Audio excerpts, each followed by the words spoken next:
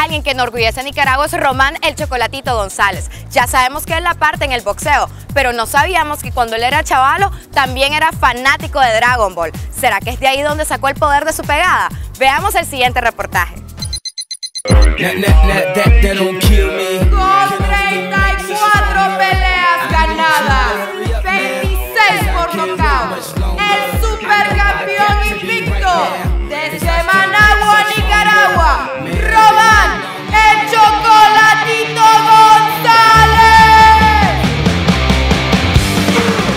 Próximo mes de noviembre, Chocolatito se va a hacer historia a Japón.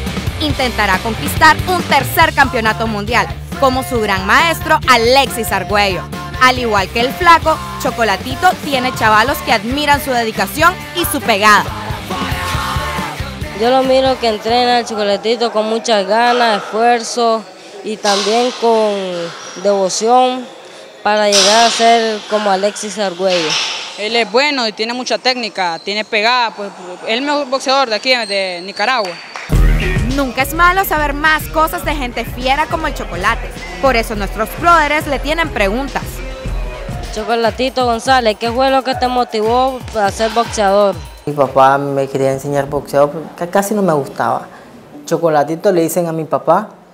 Cuando yo llegué al gimnasio de Alexi, eh, Alexi dijo, él es el chocolatito. Y ya cuando conocí a Alexis Argüello, ahí sí las cosas cambiaron mucho porque ya eran seriamente las peleas, ya no era aquí chavalada como, como cualquier chavalo. Sentí que tenía ese talento.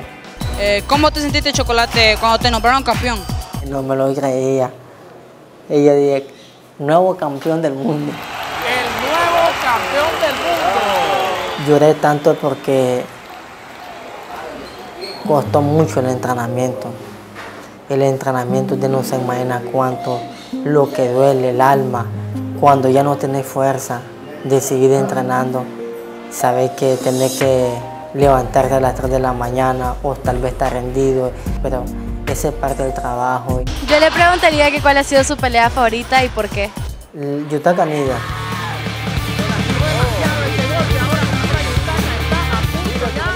Eso es lo que me hizo donde yo, donde yo estoy. ¿Qué, ¿Cuál es su motivo de entrenar todos los días y su entusiasmo? Yo como campeón entreno todos los días porque como cualquier joven quiere mantener su título, ¿no? Mi guía es levantarme a las 3 y media de la mañana, hacer 15 minutos de sombra, soltándome, bam, bam, bam, tirando los golpes fuertes y después vamos al sac. Después cuando se acaba todo eso, vamos a la peraloc. Después de eso hacemos abdominales, eso es todos los días. Pero en De Humo no solo queremos saber de boxeo, nos mata la curiosidad por saber otras cosas del supercampeón.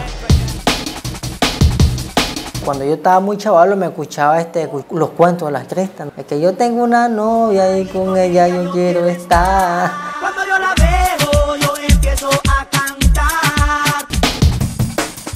Van Damme. Goku. Este, ¿cómo es? Shaka Yaka Shin, yo no sé. Este, poder.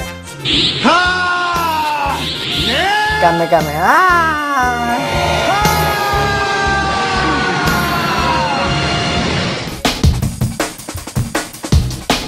Que todo lo que uno quiere alcanzar en, la vida, pues uno siempre y cuando uno ponga de su parte, lo alcanza. No anden de loco ahí, ya saben.